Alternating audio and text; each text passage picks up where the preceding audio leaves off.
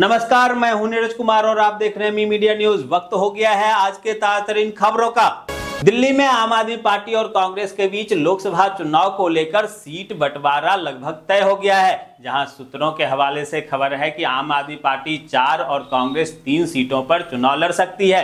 आज इस मामले का आधिकारिक ऐलान किया जाएगा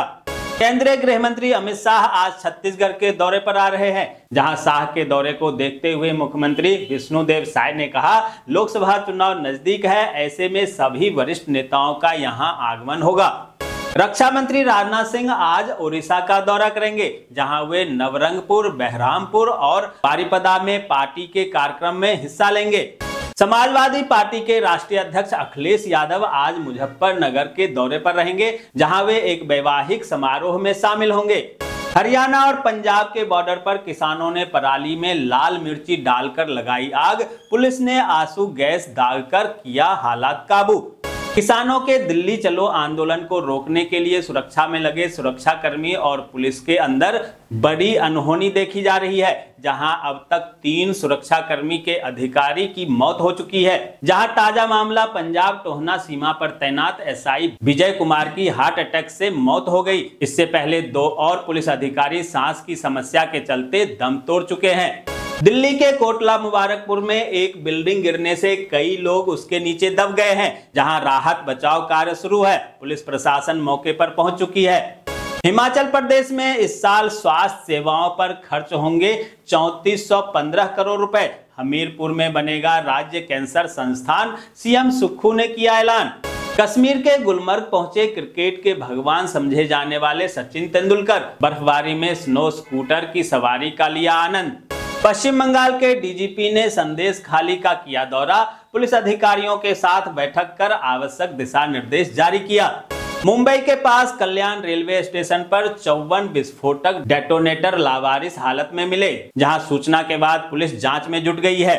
प्रधानमंत्री नरेंद्र मोदी आज से दो दिवसीय दौरे पर वाराणसी पहुंचेंगे जहां वे काशी में 23 फरवरी को वीएचयू के स्वतंत्रता भवन के कार्यक्रम में शामिल होंगे इसके बाद संत रविदास की जन्मस्थली तीर गोवर्धन मंदिर जाएंगे साथ ही वे काशी संकुल का उद्घाटन भी करेंगे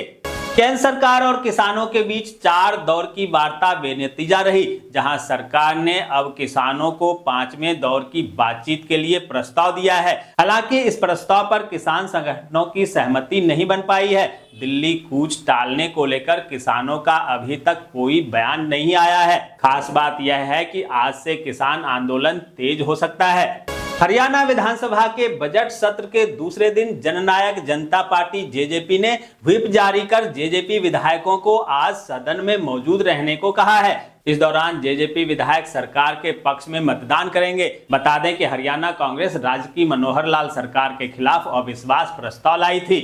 दोस्तों आगे बढ़ने से पहले आपसे रिक्वेस्ट है कि अगर आपने अभी तक इस न्यूज को लाइक और कमेंट नहीं किया है तो प्लीज लाइक और कमेंट कर दीजिए क्योंकि आपके लाइक और कमेंट का मैं कब से इंतजार कर रहा हूं और जैसा कि आपको पता है कि कमेंट करने वाले लोगों के नाम हम न्यूज के लास्ट में बताते हैं इसलिए न्यूज को लास्ट तक जरूर देखिए राहुल गांधी की भारत जोड़ो न्याय यात्रा पूर्वोत्तर राज्य से शुरू होकर अब भारत के मध्य प्रदेश पहुंच चुकी है इस बीच राहुल गांधी 26 फरवरी से 1 मार्च के बीच यात्रा से ब्रेक लेकर लंदन जाने वाले हैं जहां बताया जा रहा है कि वे ब्रिटेन में कैम्ब्रिज यूनिवर्सिटी में दो विशेष लेक्चर देने वाले है इसके अलावा वे दिल्ली में कुछ अहम बैठकों में भी हिस्सा लेंगे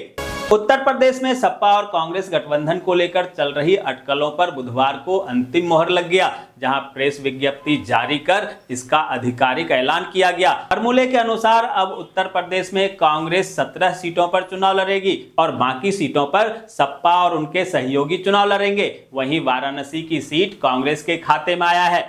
जदयू के वरिष्ठ विधायक नरेंद्र नारायण यादव बिहार विधानसभा के नए उपाध्यक्ष होंगे वे गुरुवार अर्थात आज 10 बजे नामांकन करेंगे उनके निर्विरोध चुनाव जीतने की संभावना है बता दें कि नरेंद्र नारायण यादव मधेपुरा जिला के आलमनगर विधानसभा क्षेत्र से उन्नीस से लगातार चुनाव जीत रहे हैं आज प्रधानमंत्री नरेंद्र मोदी गुजरात को देंगे करोड़ों की सौगात साथ ही अमूल के गोल्डन जुबली समारोह में होंगे शामिल राजस्थान के मुख्यमंत्री भजनलाल शर्मा ने ऐतिहासिक फैसला लेते हुए निर्देश दिया है कि अब वे भी आम लोगों की तरह सड़क पर चलेंगे उनका काफिला भी रेड लाइट होने पर चौराहे पर रुकेगा इसमें आम लोगों को बड़ी राहत मिलेगी क्योंकि वीआईपी मूवमेंट के चलते कई बार रास्ते पहले से ही बंद कर दिए जाते हैं जिससे ट्रैफिक जाम हो जाता था झारखंड की चंपई सोरेन सरकार का एक और बड़ा फैसला आया सामने जहां 27 प्रशासनिक ऑफिसरों का किया गया तबादला छत्तीसगढ़ में आयोजित महा किसान रैली में शामिल होंगे रक्षा मंत्री राजनाथ सिंह एक लाख अन्नदाता रहेंगे मौजूद मध्य प्रदेश के मंत्री कैलाश विजयवर्गीय ने पश्चिम बंगाल की ममता बनर्जी सरकार पर जमकर निशाना साधा उन्होंने कहा कि पश्चिम बंगाल में राष्ट्रपति शासन लागू कर दिया जाना चाहिए साथ ही उन्होंने किसान आंदोलन को लेकर भी सवाल उठाया दोस्तों मैं देख पा रहा हूं कि आप में से बहुत सारे लोगों ने न्यूज को लाइक किया है और कमेंट भी किया है लेकिन अभी भी बहुत लोग बाकी हैं जिन्होंने न्यूज को लाइक और कमेंट नहीं किया है उनसे भी आग्रह है कि प्लीज प्लीज प्लीज वे भी न्यूज को लाइक कर दें कमेंट कर दें साथ में शेयर भी कर दें और अब बारी है कल के न्यूज पर कमेंट करने वाले लोगों के नामों की उनके नाम है सुनील कुमार पाथिपाका ईश्वरदीन विश्वकर्मा सुनील कुमार पाथिपाका मेदीलाल मौर्य गीता अनुरागी अशोक परमार करुणा चक्रवर्ती संतोष भटनागर संजय पाल कृपा Shankar Keshav Chand Tiwari Prayas Yadav Ramdayal Singh Upendra Sultan Ansari Rajendra Kelwa Chandrajit Bisht Tiwari DK live news Randhir Singh Dinabandhu Kalsai Rajesh Roy SP Singh Khemhom Thapa Arvind Paswan Praveen Kalita Gautam Mahato घरेलू खाना Kajal Kumar Ganguly Niranjan Joshi Arun Dange Rakshram Arya Shilpi big Banerjee Gautam Mahato user P S three Vijay Saxena Bunty Hazarika Ayodhya Prasad Rathore K P Tiwari Balwant Singh Gill Rajendra Kelwa Nidhinath Pandey Prahlad Pandit Sailu Singh Satendra Hom Chhetri Ambuj news 24 Praveen Kumar Santosh Kumar Gaup Ashok Arya Parshuram Sunil Kumar पाथिपा का अंसारी रसीद और सतीश चौबे तो ये थी आज की ताजा तरीन खबरें ऐसे ही खबरों से अपडेट रहने के लिए चैनल को सब्सक्राइब कीजिए नोटिफिकेशन बेल को दबाइए वीडियो को लाइक कीजिए और ज़्यादा से ज़्यादा शेयर कीजिए ताकि देश और दुनिया के तमाम खबरों से आप और आपके जानने वाले रह सकें अपडेट